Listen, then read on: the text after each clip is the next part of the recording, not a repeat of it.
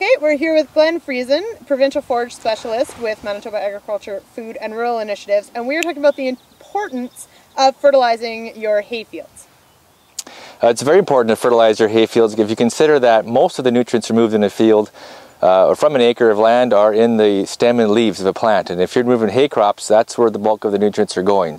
For example, when you compare a cereal silage uh, stand to a, a grain field, uh, you're moving up to 50% more nitrogen and phosphorus and up to 400% more potassium and 100% more sulfur. So a big numbers coming off a hay crop. And if you consider the, uh, the amount of nutrients removed in a ton of alfalfa, um, you're at about 60 pounds of nitrogen, uh, also about 60 pounds of potassium, 15 of phosphorus, and about 6 of sulfur.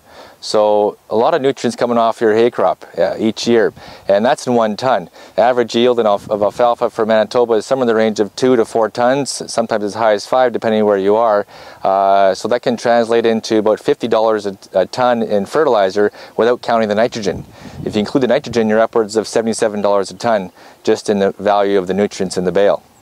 Okay, so any recommendations for timing uh, or type and uh, application um, means?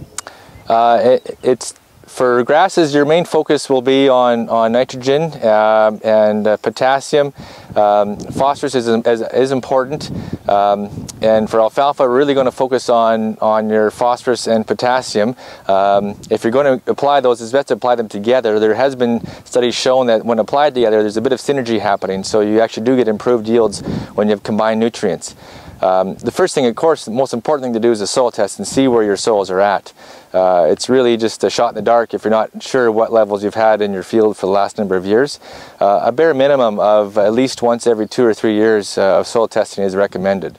Um, as far as timing is concerned, uh, when we're, we're thinking ideally a spring application for nitrogen to get, uh, get your grasses going. Uh, in the case of alfalfa, I see most people putting their phosphorus and potassium down after the between the first and second cut. And the largest challenge there is that the soil is often a little bit soft to get on it first thing in spring and you want to be careful about damaging those those uh, those crowns. So uh, between the first and second is a good place to start.